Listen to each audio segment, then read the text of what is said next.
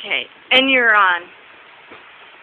So you need me to move the table because we. need to move all the crap off the table and move your ass so that I can move the table in the corner where it's supposed to be.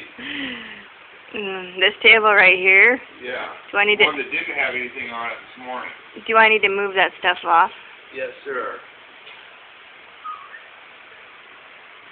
Ah, good shot of your belly.